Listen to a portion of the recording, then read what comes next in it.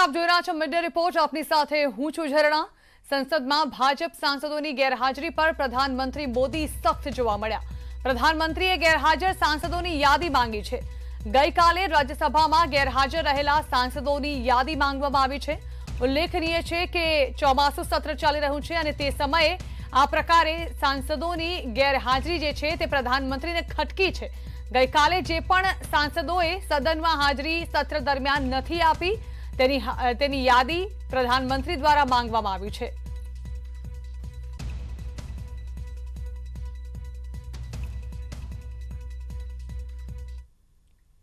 અન્ય સમાચારો, પોરબંદરમાં અકસ્માતમાં બે બાળકોના મોત થયા છે. દેગામ પાસે કારે બે બાળકોને ટક્કર મારી હતી.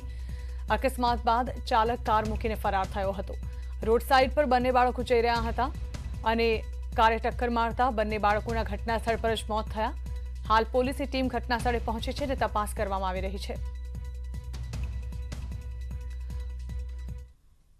તો સીસીટીવીમાં પણ આ ઘટના કેદ થઈ ચૂકી છે, જેમાં કાર બે બાળકોને ટક્કર મારતા દેખાય છે અને ત્યારબાદ આ બાળકો ફંગોળાઈને પટકાય છે, જેમાં બંને બાળકોના કરુણ મોત નીપજે છે. કાર ચાલક ગભરાઈ જાય છે અને પોતાની કાર ત્યાં જ મૂકીને તે ફરાર થઈ જાય છે. હાલ પોલીસે કારના નંબરના આધારે કાર ચાલકની શોધવાની તજવીજ હાથ ધરી છે.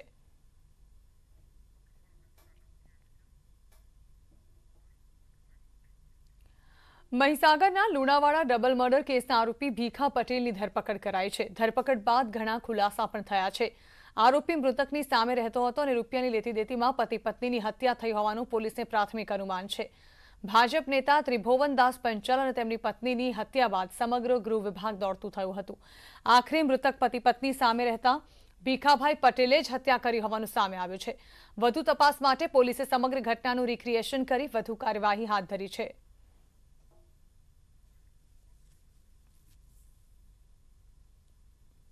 મહીસાગર જિલ્લાના લુણાવાડા તાલુકાના ગોલાના પાલ્લા ગામે ડબલ મર્ડર કેસની ઘટના બની હતી અને ગૃહ વિભાગે આની ગંભીર નોંધ લીધી હતી. મુખ્યમંત્રીએ પણ ગંભીર નોંધ લીધી હતી. જેના કારણે આજે છ દિવસ બાદ હત્યારાની ધરપકડ કરી લેવામાં આવી છે. ગત રોજ પોલીસે હત્યારાની ધરપકડ કરી.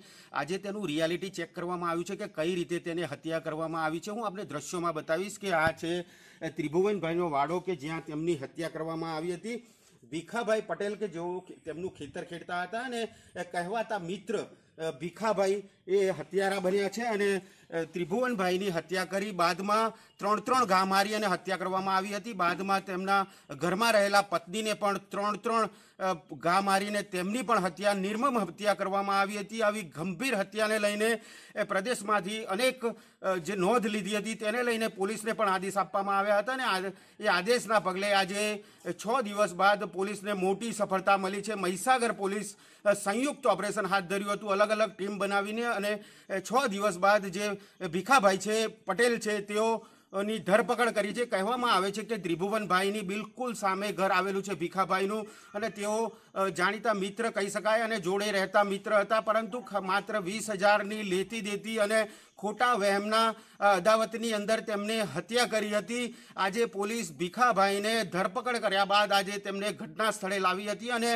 તેમને કઈ રીતે હત્યા કરી, કયા હથિયારથી હત્યા કરી, કેવી રીતે હત્યા, કેવી રીતે હત્યા કરી, પત્નીની કઈ રીતે હત્યા કરી તે બાબતનું રિયાલિટી ચેક કર્યા બાદ પોલીસ અહીંયા લાવી હતી અને પોલીસે તેની પ્રાથમિક તપાસ હાથ ધરી છે. જોકે મોબાઈલ પણ કબજે લીધો છે ત્રિભુવનભાઈનો અને સમગ્ર બાબતે તપાસ હાથ ધરી અને ભીખાભાઈ પર કાર્યવાહી હાથ ધરી છે. Mitesh Bhatia, news eighteen, Gujarati, Mahisagar. Social મીડિયામાં ફેક આઈડી બનાવી લોકોને લૂંટતા વડોદરાના બંટી બબલી અમદાવાદથી ઝડપાયા. સાયબર ક્રાઇમ બ્રાન્ચની તપાસમાં સામે આવ્યું છે કે આકાશ લાલવાની અને જૈમિકા પટેલ નામના આરોપીઓ હાઈ પ્રોફાઇલ મહિલાઓ સાથે સંબંધ બાંધવાની લાલચ આપી પૈસા પડાવતા હતા. એક વ્યક્તિ પાસેથી સાત લાખનો તોડ કરનારા બંટી બબલી આખરે સાયબર ક્રાઇમના હાથે લાગી ગયા છે. સોશિયલ મીડિયાનો ઉપયોગ કરી છેતરપિંડીની નવી મોડસ ઓપરેન્ડી પકડી પાડવામાં સાયબર ક્રાઇમને સફળતા મળી છે. ફેસબુક ઉપર ફ્રેન્ડ રિક્વેસ્ટ પ્રિયંકા પટેલ નામથી આવેલી અને તેઓ તેઓએ તેમને જણાવ્યું કે તેઓ એસ્કોટ સર્વિસ સપ્લાય કરે છે. એસ્કોટ સર્વિસ પૂરી પાડે છે અને એમાં મીટિંગ ગેટિંગ હાઈ પ્રોફાઇલ લેડીઝો સાથે કરી અને પૈસા કમાવા પૈસા કમાવાની લોભાવની વાતો કરેલી અને તેમને ઝાંસામાં લીધેલા. ત્યારબાદ રાજકોટમાં કેટલા લોકોમાં એન્ટીબોડી બની છે તે અંગે સર્વેની કામગીરી કરવામાં આવશે. આજથી સીરો સર્વેની કામગીરી શરૂ થઈ છે. સીરો સર્વેની દરેક ટીમમાં એક લેબોરેટરી ટેકનિશિયન સહિત ચાર આરોગ્યકર્મી રહેશે. પચાસ ક્લસ્ટરમાંથી અલગ અલગ છવ્વીસ ટીમ જોડાશે અને અઢારસો લોકોના સેમ્પલ લેવાશે. લોહીના સેમ્પલમાંથી સિરમ બનાવીને ચકાસણી કરવામાં આવશે. આ સીરો સર્વે આજથી પાંચ દિવસ સુધી ચાલશે. આજથી પાંચ દિવસ માટે સીરો સર્વેની કામગીરી ચાલુ કરેલ છે. આ કામગીરી છે રાજકોટ રાજ્ય સરકારના હેલ્થ વિભાગના આદેશ અન્વયે ત્રણ મેમ્બરની ટીમ હશે, જેમાં એમપીએડબલ્યુ આપણા ડેટા એન્ટ્રી ઓપરેટર અને લેબટેક હશે. સ્થળ ઉપર જ એમનું રજીસ્ટ્રેશન કરવામાં આવશે. ત્યારબાદ બ્લડ લઈ એનું સિરમ સેમ્પલ કરવામાં આવશે અને મેડિકલ કોલેજ ખાતે મોકલવામાં આવશે. આમાં આપણે અઢારસો લોકોને આવરી લેશું. ત્રીજી લહેર આવે તે પહેલા અમદાવાદ શહેરમાં કોરોના સામેની સાવચેતી વધારી દેવાઈ છે. હાલ તહેવારો નજીક છે. શ્રાવણ મહિનો શરૂ થઈ ચૂક્યો છે. સાથે જ બેવડી ઋતુને કારણે હાલ વાયરલ તાવ, શરદી, ઉધરસના કિસ્સા વધ્યા છે.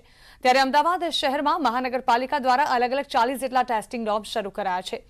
શાળા કોલેજોમાં આરટીપીસીઆર ટેસ્ટના ડોમ શરૂ કરવા આદેશ કરાયા છે. અમદાવાદમાં જે સંસ્થા એએમસીને જાણ કરશે, ત્યાં ટેસ્ટિંગ ડોમ બનશે. ગુજરાત યુનિવર્સિટીમાં ટેસ્ટિંગ ડોમ ઊભા કરવામાં આવ્યા છે. કમ્યુનિટી હેલ્થ સેન્ટર પર આરટીપીસીઆર ટેસ્ટ શરૂ કરાયા છે. શહેરમાં દરરોજ થઈ રહ્યા છે પાંચ હજાર પાંચસો ટેસ્ટ. અર્બન હેલ્થ સેન્ટરમાં રોજ અંદાજે બે હજાર એન્ટીજન ટેસ્ટ અમદાવાદમાં બસો રસીકરણ કેન્દ્ર, અમદાવાદમાં અંદાજે એકતાલીસ લાખ લોકોએ રસી લઈ લીધી છે. અમદાવાદમાં એકત્રીસ લાખ લોકોને પ્રથમ ડોઝ અપાઈ ચૂક્યા છે, જ્યારે કે દસ લાખ લોકોને બંને ડોઝ અપાઈ ચૂક્યા છે.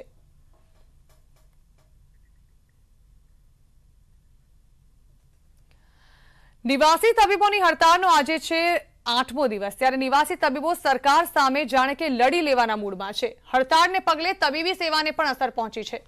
અમદાવાદ સિવિલમાં સાહીઠ ઓપરેશન મોકૂફ રખાયા છે. બીજે મેડિકલ કોલેજમાં પોલીસનો ચાંપતો બંદોબસ્ત ગોઠવી દેવાયો છે. છ શહેરોના બે નિવાસી તબીબો હડતાળ પર છે.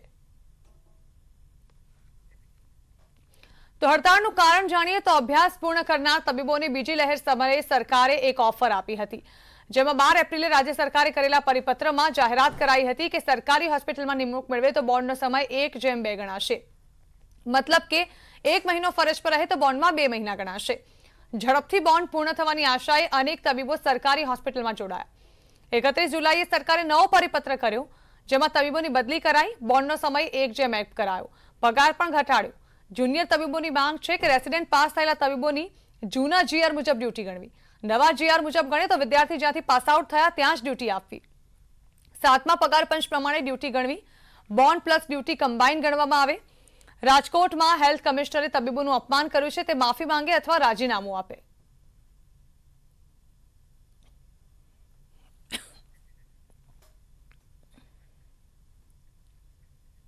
તો વડોદરામાં પણ ડોક્ટર્સ હડતાળ પર છે. ત્યારે ડોક્ટર હડતાળનો આજે આઠમો દિવસ છે. વડોદરા મેડિકલ એસોસિએશને પણ ડોક્ટર્સને સમર્થન આપ્યું છે. હોસ્ટેલ ખાલી કરવાના વલણ સામે તબીબો રોષ ઠાલવી રહ્યા છે. તબીબો પણ મક્કમ મને કહી રહ્યા છે કે જ્યાં સુધી માંગ નહીં સંતોષાય, ત્યાં સુધી હડતાળ યથાવત રહેશે. સરકારે તબીબો પ્રત્યે આકરું વલણ દાખવ્યું હતું. તે ઉપરાંત તબીબોને ફરજ પર પરત ફરવા પણ અપીલ કરી હતી.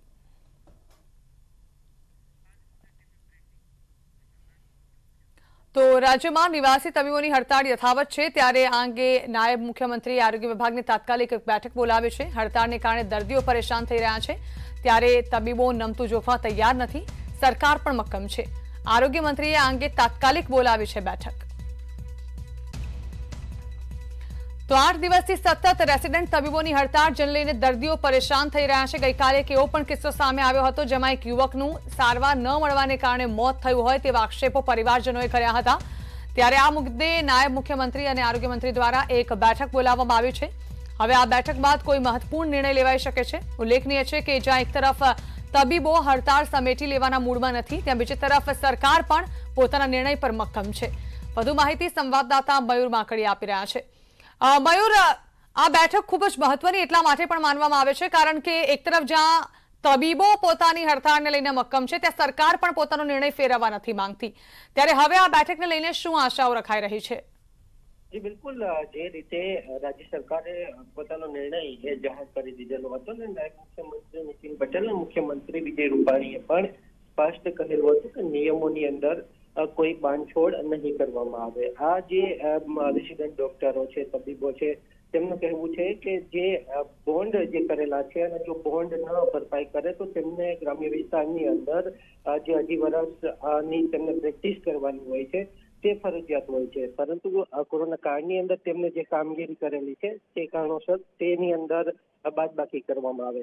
બીજી તરફ રાજ્ય સરકાર પણ મક્કમ છે કે આ તમામ તબીબો છે તેમની હાલ જરૂરિયાત જે છે તે પીએચસી, સીએચસી સેન્ટર ખાતે છે ને ત્યાં તેઓ ઉપસ્થિત થાય. એટલે કે હવે બંને જે લોકો છે, તબીબો છે તે પોતાની માંગ ઉપર અડગ છે, સરકાર પોતાની જે નિર્ણય છે તેના ઉપર અડગ છે. ત્યારે આ બેઠક એ ખૂબ મહત્વની છે અને તબીબોને મનાવવાના જે પ્રયાસ છે તે રાજ્ય સરકાર દ્વારા હાથ ધરવામાં આવશે. જી, બિલકુલ આભાર, મયુર.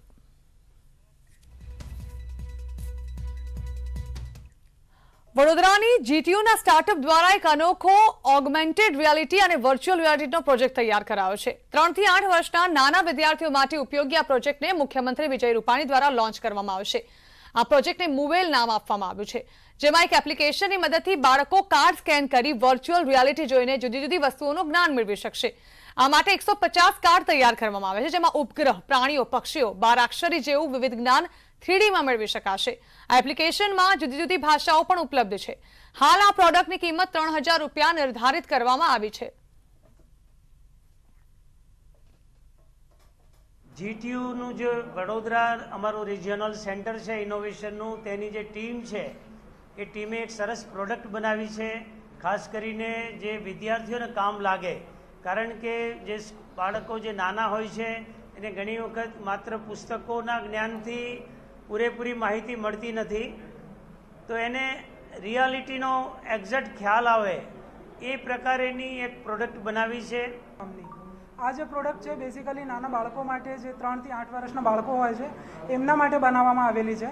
આની અંદર વન ફિફ્ટીથી વધારે કાર્ડ્સ અવેલેબલ છે, જેને તમે એક મોબાઈલ એપ્લિકેશન થ્રુ જ્યારે સ્કેન કરો, ત્યારે તમને ઘણી બધી જાતની જુદી જુદી વસ્તુઓનું તમને અભ્યાસ કરવાનું એની અંદર ચાન્સ મળે છે. એની અંદર મલ્ટિપલ કેટેગરીઝ અંદર આપેલી છે, જેના થ્રુ તમે એનિમલ્સ છે કે પક્ષીઓ છે આલ્ફાબેટ્સ છે, ગાડીઓને વિશે છે ફ્રૂટ્સ વેજીટેબલ્સ આવી બધી વસ્તુઓ વિશે તમે એની અંદર ઇઝીલી લર્ન કરી શકો એવું છે વરસાદ ખેંચાતા જગતનો તાત ચિંતામાં મુકાયો છે. હવામાન વિભાગના આંકડા પ્રમાણે રાજ્યમાં અત્યાર સુધીમાં થવો જોઈએ તેના કરતાં તેતાલીસ ટકા ઓછો વરસાદ નોંધાયો છે, જે છેલ્લા સાત વર્ષમાં સૌથી ઓછો વરસાદ છે. રાજ્યમાં સિઝનનો સરેરાશ વરસાદ માંડ છત્રીસ ટકા થયો છે, જેના કારણે પંચોતેર લાખ તોતેર હજાર હેક્ટરમાં ઉભેલો ખરીફ પાક નિષ્ફળ જવાની ભીતિ છે. ગયા વર્ષે ઓગસ્ટ સુધીમાં બાવન ટકા વરસાદ થયો હતો, બે હજાર સત્તરમાં ઓગસ્ટ સુધીમાં બ્યાસી ટકા વરસાદ થયો હતો. ઉત્તર ગુજરાતમાં માત્ર એકત્રીસ ટકા જ વરસાદ થયો છે. અરવલ્લી જિલ્લામાં માંડ બાવીસ ટકા વરસાદ થયો છે. આણંદમાં સૌથી વધુ સુડતાલીસ ટકા, નવસારીમાં છેતાલીસ પોઈન્ટ છ ટકા વરસાદ થયો છે. અમદાવાદ જિલ્લામાં સૌથી વધુ ડાંગરનું એક લાખ ત્રેવીસ હજાર બસો ઓગણએંશી હેક્ટરમાં વાવેતર કરવામાં આવ્યું છે. તો માંડલ તાલુકામાં અગિયાર હજાર છસો પંચાવન હેક્ટરમાં તુવેરનું વાવેતર કરાયું છે. રાજકોટ શહેર તેમજ જિલ્લામાં પીવાના પાણીની સર્જાઈ શકે છે અછત. તો આણંદમાં પણ વરસાદના ભાવે પાંચસો જેટલા શ્રમિકો બેકાર બની ચૂક્યા છે. વરસાદ ખેંચાતા ડાંગરની રોપણી શરૂ નથી થઈ શકી. મહેસાણા જિલ્લામાં ખરીફ વાવેતરમાં પચાસ ઘટાડો થયો છે. દર વર્ષે ચોમાસામાં બે લાખ સાહીઠ હજાર હેક્ટરમાં વાવેતર કરાય છે. મહેસાણામાં વરસાદના અભાવે દોઢ લાખ હેક્ટરમાં જ વાવેતર થઈ શકે છે.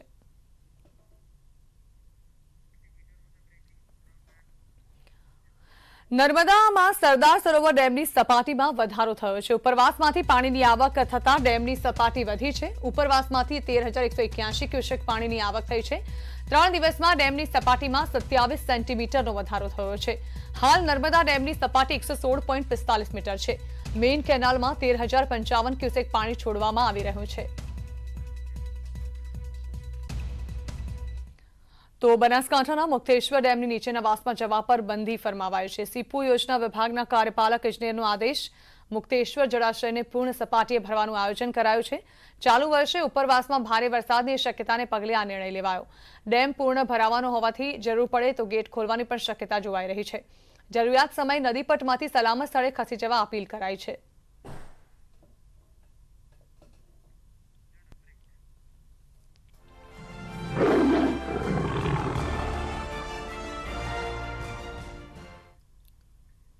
આજે વિશ્વ સિંહ દિવસની કરાઈ ઉજવણી. સૌરાષ્ટ્રના અલગ અલગ સ્થળે વર્ચ્યુઅલી ઉજવણી કરવામાં આવી.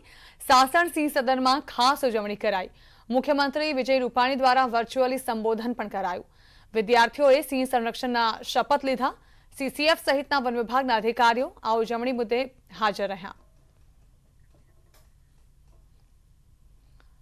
તો આજે વિશ્વ સિંહ દિવસે પ્રધાનમંત્રી મોદીએ ટ્વીટ કરી શુભેચ્છાઓ પાઠવી. સંરક્ષણ પ્રત્યે ઉત્સાહી તમામ લોકોને શુભેચ્છાઓ પાઠવી.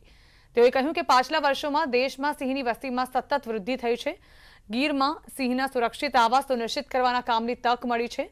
સ્થાનિક સમુદાય વૈશ્વિક પ્રથાઓને સામેલ કરાય છે. સિંહ રાજસી અને સાહસી પ્રકૃતિના હોય છે, ત્યારે ભારતમાં એશિયાઈ સિંહનું નિવાસસ્થાન હોવું તે ગર્વની વાત હોવાનું તેઓએ જણાવ્યું. તો આજે વિશ્વ સિંહ દિવસ હોવાને નાતે અ, રાજ્યસભાના સાંસદ પરિમલ નથવાણી દ્વારા પણ પ્રતિક્રિયા આપવામાં આવી હતી आज लायन डे है उसकी खूब खूब बधाई पूरे जगत में जो लोग लायन के लिए एशियाटिक लायन के लिए जो काम कर रहे हैं और लव कर रहे हैं उस खास तौर पे हमारे प्राइम मिनिस्टर नरेंद्र मोदी जिन्होंने आज तक लायन के ऊपर जो प्रोजेक्ट किए हैं, उसको भी मैं अभिवादन करता हूँ और धन्यवाद देता हूँ। पैंतीस साल से मैं गिर सेंचुरी में रेगुलर आता जाता रहा हूँ। एशियाटिक लायन है और मेरे दिल के नज़दीक है। मैं कई बार देखता हूँ कि कई एनिमल्स हैं, किंतु लायन एक रॉयल एनिमल है। और इवन ये कनिंग भी नहीं है। तो मैंने एक बार राज्यसभा में बोला भी था कि हम इसमें नहीं जा रहे हैं कि कौन सा एनिमल अच्छा है, नहीं है। बट लायन को जो प्रमोशन मिलना चाहिए, ये हमारे प्राइम मिनिस्टर ने अभी जो प्रोजेक्ट डिक्लेयर किया है, उसमें मैं और एक बात कहूँगा कि लायन को नेशनल एनिमल डिक्लेयर करें, वो हमारे लिए गौरव की बात होगी और पूरा विश्व में इसकी सराहना होगी। આજે દસમી ઓગસ્ટ એટલે કે વિશ્વ સિંહ દિવસ, ત્યારે આ દિવસની વન વિભાગ દર વર્ષે ઉજવણી કરે છે. આખા એશિયા ખંડમાં માત્ર ને માત્ર ગુજરાતના, સૌરાષ્ટ્રના ગીર જંગલમાં સિંહની વસ્તી છે. જેમાં સૌથી વધુ આકર્ષણ દેવળિયા સફારી પાર્કના દેવરા સિંહનું હોય છે. કારણ કે એશિયાટિક સિંહમાં અનાથ દેવરાજ ગીર જંગલનો સૌથી વધુ દેખાવડો અને સૌથી સુંદર સિંહ છે. તેની કેશવાળી આફ્રિકન સિંહ જેવી મોટી અને ઘટાદાર છે. જે બીજા સિંહમાં નથી જોવા મળતી. દેવરાજ પુખ્ત વયનો સાવ- સાવજ છે અને આશરે આઠ વર્ષ પહેલા તેનો જન્મ જંગલમાં જ થયો હતો, પણ તેની માતાનું મૃત્યુ થતા માત્ર ચાર કે પાંચ મહિનાનો હતો, ત્યારે જ વન તેને દેવાડિયા સફારી પાર્કમાં લાવવામાં આવ્યો હતો. અહીં જ તે ઉછરીને મોટો થયો છે. જ્યારે જંગલમાં છૂટા ફરતા સિંહ વચ્ચે ઇન્ફાઇટ બાવળની કાંટ, ઝાડી ઝાંખરા અને કાંટાળી વાળમાં ઘૂસતા હોવાથી સિંહના કેશવાડીના વાળ ઉખડી જતા હોય છે, પણ દેવરાજને એવી કોઈ તકલીફ વેઠવાની પડી નથી. ત્યાં સુધી કે તેને બચપનથી સફારી દેવાળિયામાં તૈયાર ખોરાક જ મળતો હોવાથી શિકાર કરવો પણ નથી પડતો તેથી તેના શરીરને ઘસરકો સુદ્ધા નથી પહોંચતો પરિણામે તે સૌથી વધુ દેખાવડો છે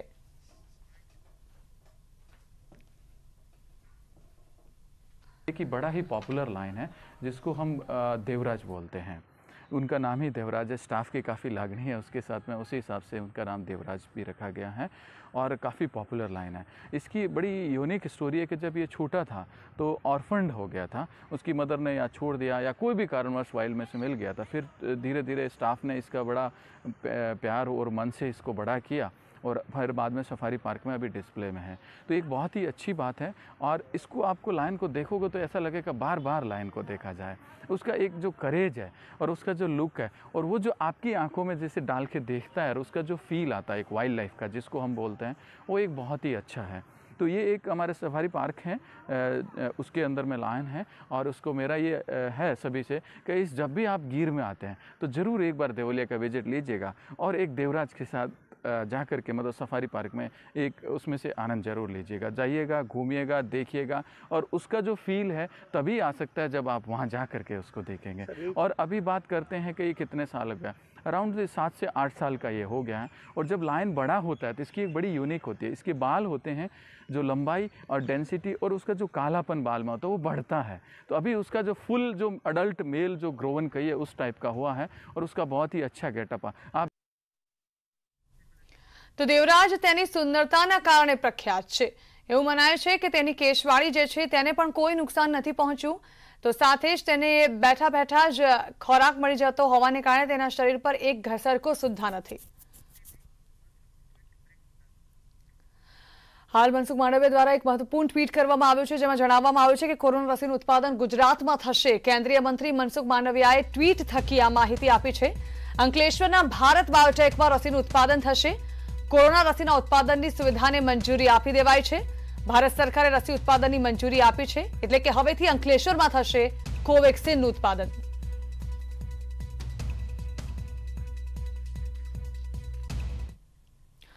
કોરોના વાયરસના ક્યારને રોકવા માટે દેશભરમાં મોટા પાયે રસીકરણનું અભિયાન ચાલી રહ્યું છે.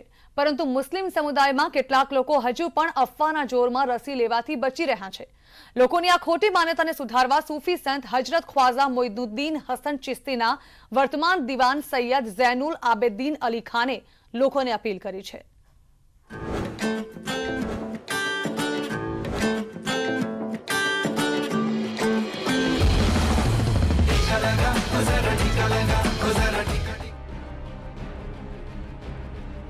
कोरोना ने लाखों लोगों की जान ले ली, लेकिन आज उसके शिकस्त खाने का वक्त आ गया है, क्योंकि कोरोना के शुरुआती दौर में भले ही इंसानों के पास कोरोना को हराने का कोई प्रभावी तरीका नहीं था, लेकिन अब ऐसा नहीं। है आज देश में कोरोना को हराने के लिए कई टीके मौजूद हैं, मगर अफसोस है, कोरोना के खिलाफ प्रभावशाली टीका मौजूद होने के बावजूद कुछ लोग ऐसे भी हैं जो वैक्सीनेशन से बच रहे हैं।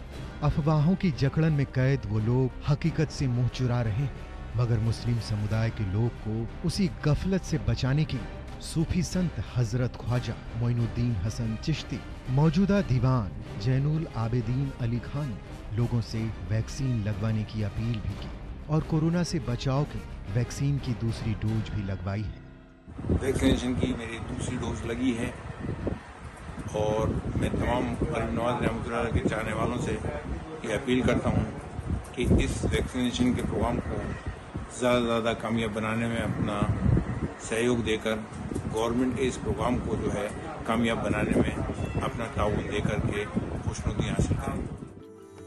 ज़ाहिर तौर पर, दरगाह दीवान भी ये समझ रहे हैं कि अफवाहों के चलते सरकार की ओर से बड़े पैमाने पर चलाए जा रहे वैक्सीनेशन अभियान के बावजूद कुछ लोग वैक्सीनेशन से बचने का बहाना ढूंढकर अपने और अपनों की जान दांव पर लगा रहे हैं, जबकि हकीकत ये है कि कोरोना से बचने का सबसे असरदार और प्रभावी तरीका सिर्फ़ और सिर्फ़ वैक्सीनेशन है। एक बार फिर सुनिए, आखिर टीके को लेकर क्या कह रहे हैं दरगाह के दीवान साहब। वैक्सीनेशन की मेरी दूसरी डोज लगी है और मैं तमाम के चाहने वालों से ये अपील करता हूँ कि इस वैक्सीनेशन के प्रोग्राम को ज़्यादा से ज़्यादा कामयाब बनाने में अपना सहयोग देकर गवर्नमेंट के इस प्रोग्राम को जो है कामयाब बनाने में अपना ताउन दे करके खुशनुदी हासिल करें।